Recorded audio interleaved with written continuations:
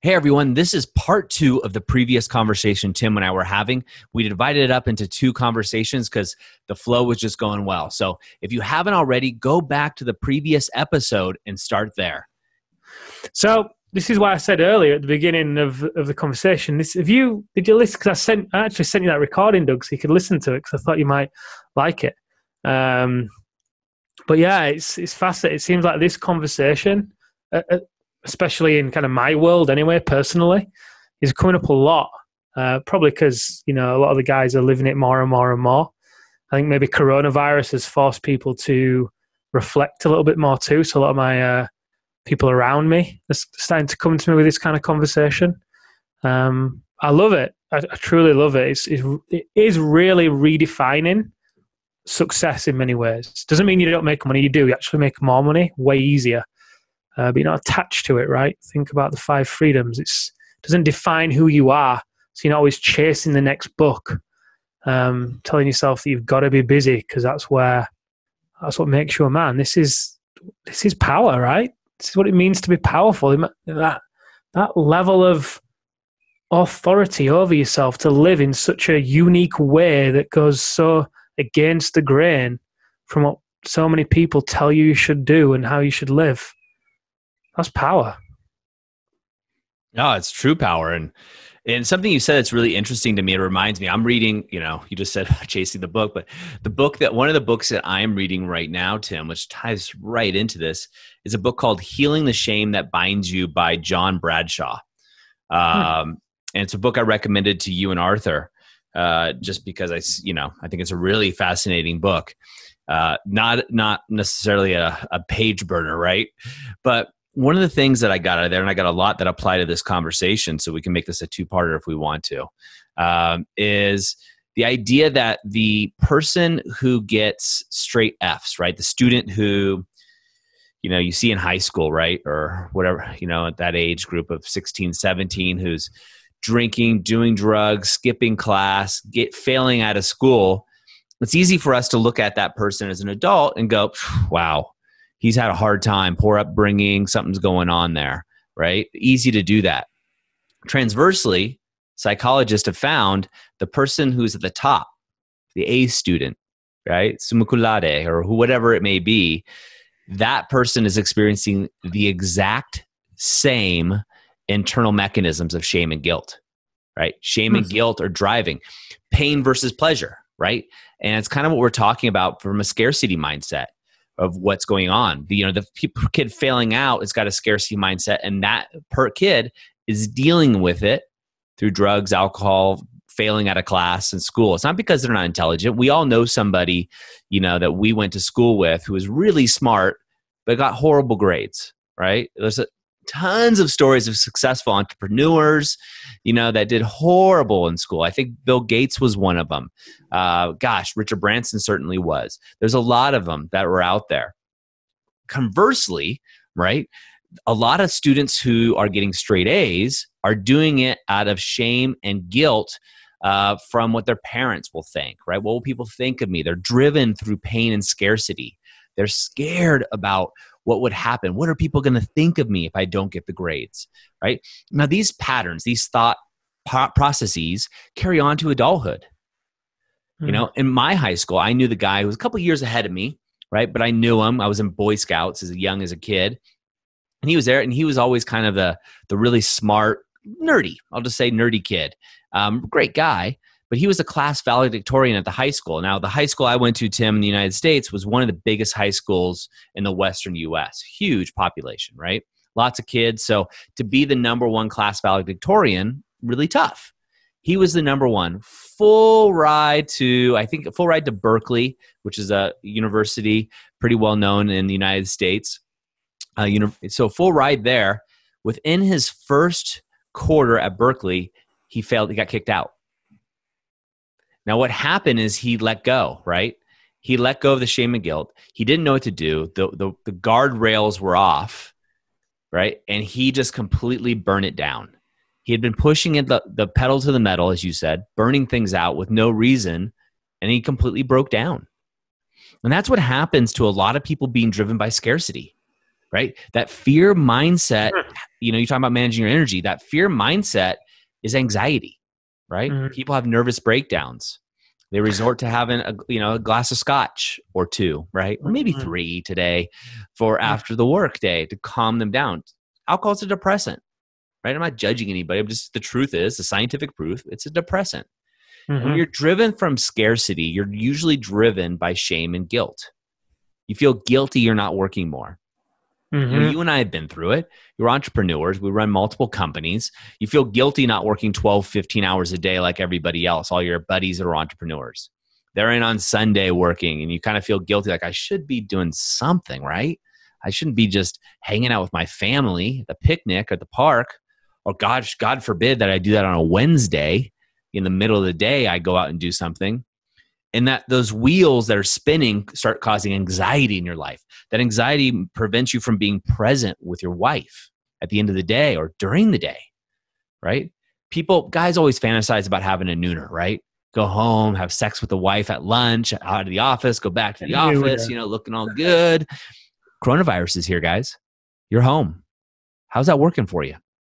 Mm. right? Do you know i watched the crossfit uh what was it something about the CrossFit Games last night, and uh, Amelia's like, "Why? Why are they pushing themselves so much?" And it was basically this one clip of this um, these women. It, it pictured them at different points, and they all kept referring to having their the family in the audience, and they just want to do them proud, and it's so nice to see them there. And they, it was, I think it was in 2015, and there was an Australian uh, lady competing. I know you're talking it was, about. It was that hot? Yeah, it was that hot um, you know, they pushed and they pushed and they pushed, and she like passed out. She was on a stretcher. She got rushed out. I don't. We don't know what was wrong with it. Didn't say, but she came around from that, and um, she was really upset. And when she spoke about it, she said, "I'm just really upset that." You know, my family are here, they're in the crowd, and I just want them to be proud of me. I'd let them down. And I found it really interesting. I thought, is this your main drive? Is your main drive right now in this games to to get approval right? Is it to seek that?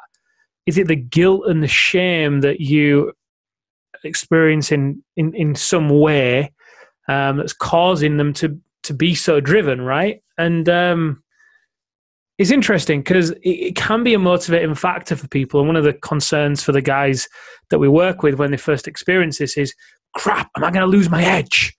Am i going to lose my competitive edge? Because now i'm embracing this new way of of operating, you know, I'm I'm I'm happy without needing to succeed, then, well, crap, I don't. Uh, uh, what's going to happen, right? And then realize that obviously that's that's not true. Uh, you actually start to tap into a deeper level of purpose within what you do because when you pull by pleasure, it comes with a sense of duty. It comes with a sense of this is what I am here to do, and it becomes very purposeful. Right? You let go of I need to do this to make money so I can provide and I can prove to actually, hey, I'm choosing this. I'm letting this pull me because this is who I am. Two very different journeys. And the first one, similar to the to the CrossFit Games lady, just you know, I was kind of wondering.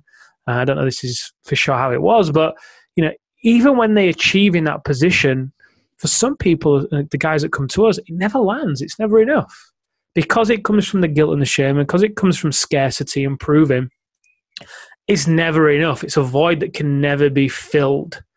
Hence the chasing and continuing, the five agonies and no man's land. It's it's exhausting, quite frankly, to be in that position. And it's the worst combination too, because you're so exhausted from the energy, but then you're never being full. And this is where you know you you can walk in and you you might get a compliment from somebody on how great you are in business, but it just won't land. You, nah, you'll brush it off. You'll say something. You'll you'll push on to somebody else. You'll have a record month, and it'll be like, ah, that was lucky. And you can start to feel like an imposter and be like, you know, how did I get here? I don't deserve this. And you worry about the rug be put, being pulled from beneath you because you just chanced this one. You were just you were lucky. You you got lucky, and someone's going to figure you out, right? There's a whole cascade of things that go with it. Whereas you know when you're able to make that transition and come from that place of abundance and be pulled by pleasure and be full. It's almost like being full and being empty at the same time because you are full, you're overflowing, and also you are emptying out because you are you are allowing yourself to be pulled and then you know putting the the uh, purpose into your life or whatever to the point where you're letting it all out it's, it's just get what i mean? It's it's an interesting dance that then goes on in that place but it's a great place to live. Um, a really great place to live. And the the biggest thing in my opinion and i keep and keep, keep going man. you're doing great. In that spot is being able to lean in to all the beliefs that come up or the moments that happen that tell you you should be busier, you are being lazy, this should be harder because you're literally you're rewiring your nervous system as well. You're rewiring pathways in your mind because for so long, for as long as you've been pushed by pain and from scarcity, you you biochemically have been operating at a hustle, right? Adrenaline, cortisol, you, your body has literally become conditioned to operate in fight or flight anxiety and, and all the rest of it which is fed by caffeine and a lack of sleep and not enough rest and it just feeds it it's a cycle so when you shift out of that it feels very different within your body.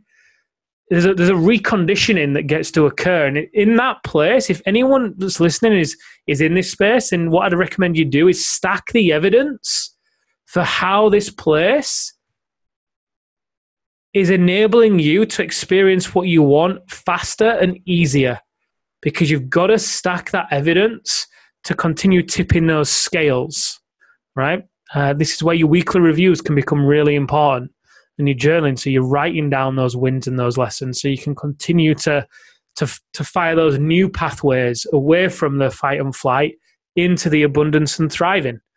Um, is key.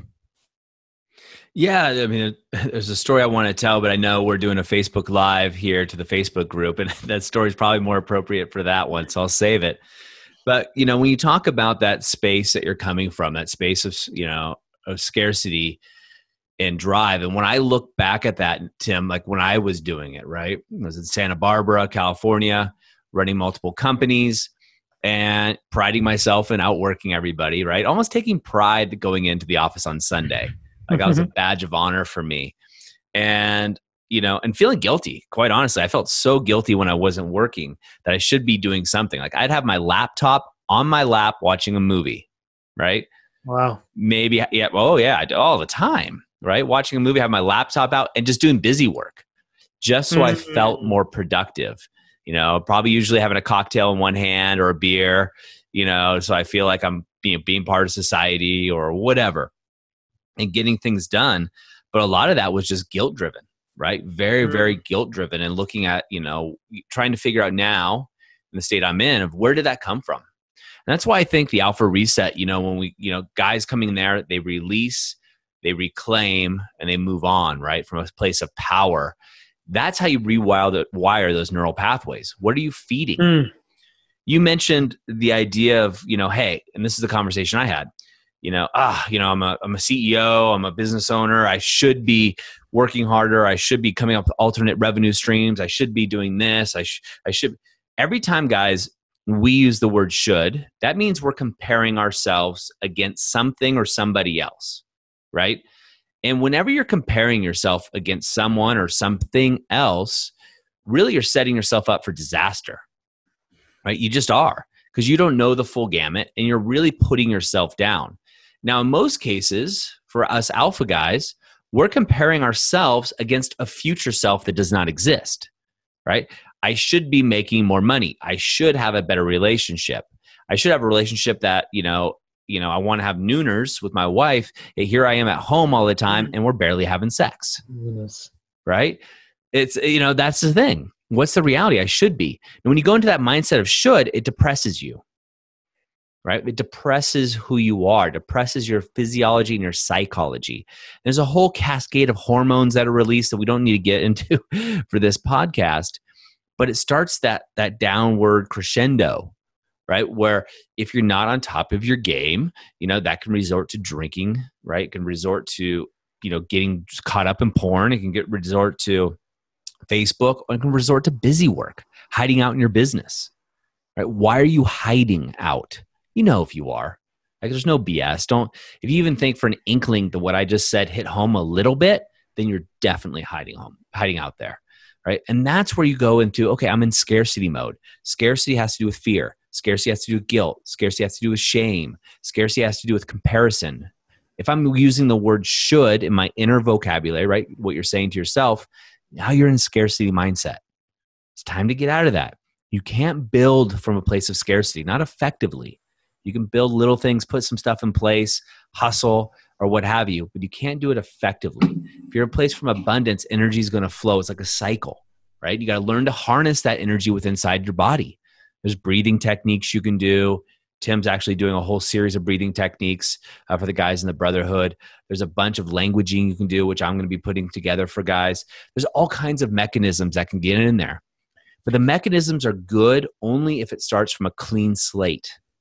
You got to have a clean slate in there, and you mm. got to have a clean slate of which to jump off of. Mm.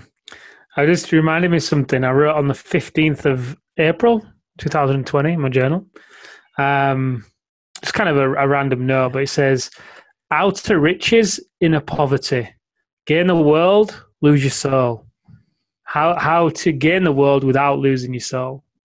It just came to mind. It's I'd say that exemplifies the guys that you know the guys that come to us. I think it exemplifies a lot of guys, to be honest, because I think it's a, a, a lie, a methodology that society has fed most men. I was actually on a panel discussion this week talking about you know modern masculinity and all that kind of stuff, um, whatever that means. But anyway, point being is um, we got onto this topic, yeah, and I really do believe that it's a it's a that's a pandemic right? You know that's a pandemic of, of these guys that do have outer riches but inner poverty. And that's where then the shame comes in as well. The outer riches have been created by scarcity and that's why there's inner poverty because it's never enough right keep going and going and going um, and they do gain the world the material world anyway, to what society would claim as the world the car, the home, the holiday, the watch, the family, the, the woman, the whatever, right? Um, but then lose their soul in the process because they're just so driven to make money, regardless of how they make it, usually. That, you know, I'm not saying they do illegal things, but they don't really do it in a meaningful way, way that lands for them. Hence why a lot of them then feel like a paycheck because it's not aligned to, um, it's not aligned to them for the most part.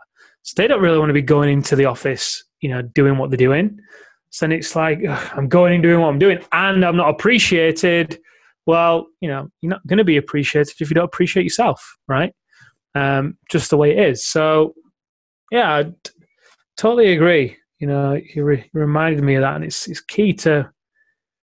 You can have both, right? You can have the outer riches and the inner riches. You know. Oh yeah. Gain the world by gaining your soul versus losing it, right? It's key. Oh, it's absolutely key. It's a, you know what you're doing is you're asking better questions of yourself in that journal, right? Um, you're asking a better question. How can I do this? How can I have both? Right, and that's a total different. Again, we talked about languaging with should, but your languaging is not can I have this? It's how can I have this? Mm-hmm. When you do mm-hmm. that, your mind is going to come up with solutions and, and mm-hmm. trying to bring this back to what the normal topic was originally which was of scarcity mindset you know what you want to do is how can you know how can i have both how can i have and and when it comes to your wife guys right how can you have a thriving business and a thriving relationship right what does that look like so a couple things keys that we want to leave you guys with is one watch your languaging. Languaging matters. How often are you using should right? In your inner dialogue i should be working right now but i'm i'm hanging out with my wife. Or i should be working but i'm with the kids playing right? That should is alarm right there. It's a trigger to let you know that you're in comparison mode therefore in scarcity mode right? So allow yourself just laugh and giggle a little bit if you can but get back into an abundance mindset of what you really want Another thing you want to do, guys, is you really want to dial in your morning routines, right? The Alpha Rise and Shine is definitely the way to go. It's what we teach the powerful man and making sure that you have those in place because that gives you a springboard of which to jump off for in your day making sure that you have those in place and that you're in cycle And the third I'll leave you with right now, and then Tim, I'll jump it over to you because I know there's a lot more that we can do. But the third one I'm going to say is don't judge yourself from being there. It's really just about recognizing if you're if you find yourself like crap, I'm in a scarcity mindset and I don't know how to get out of it. That's cool. Ask for help. Simple as that, right? But just recognize that you're there is going to help move that ball forward to getting to more of an abundancy mindset, more of a, a an area where you'll be pulled by passion rather than driven by fear. Mm. Yeah, the only thing I'd, I'd add to that, I want to keep it simple, is you know as you do your morning routine. As Doug said, we recommend the Alpha Rise and Shine, but whatever you do, just make sure it includes some kind of reflective practice. Um, I'd love for you to become aware of the the stories that are coming up for you as you examine this conversation and as you lean into it, right? Uh, as you even entertain the idea of having more abundance in your life, what would that look like for you? Would that mean that you leave the office at four o'clock? Maybe you pick the kids up from school, take them for ice cream, and you get home before your wife finishes work and you're already cooking dinner. Um, get clear on what it might might look like for you, and then you know as you go about living that or even contemplating living that, what comes up for you? Maybe it's a story of you know that you're lazy if you do that. You know, you, you can't leave work at that time. Why can't you leave work at that time? If you're the boss, why can't you?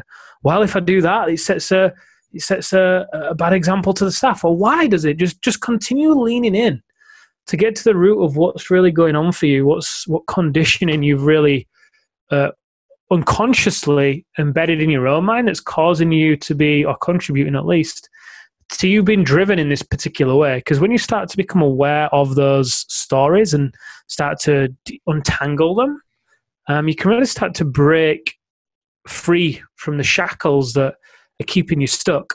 Um, and if you want to accelerate this, of course, you know, apply for the activation method and the alpha reset. It's definitely an accelerant. I think, like you said, Doug, before, um, you know, to rewire, usually something it can often take a, a, a shift, right, an immersion, in order to rewire quickly, at least, anyway, for you to really embody the sensation and the reality that this could be different and I think that's what the guys get there, right? Amongst a lot of other things, they get a real immersion of what it could be like, and they'll leave there refusing to go back because they've also got perspective and tools and other things with it as well. So if you want to fast track this, then obviously, you know, you may want to head over to the alphareset.com, check it out. If not, then that's cool. Just do the exercises uh, that we've spoken about here. Uh, Tim, thanks for the great conversation. Guys, I'd love to hear what you got out of this as well. Uh, that's it for us for another episode of the Powerful Man Show. We'll see you next time. And for those that are lucky enough, we're going to be doing a Facebook Live coming up this Friday. So this this Friday when you listen to this, there'll be a Facebook Live of Tim, the powerful man himself, in there. All right, guys, take care, and we'll talk to you soon.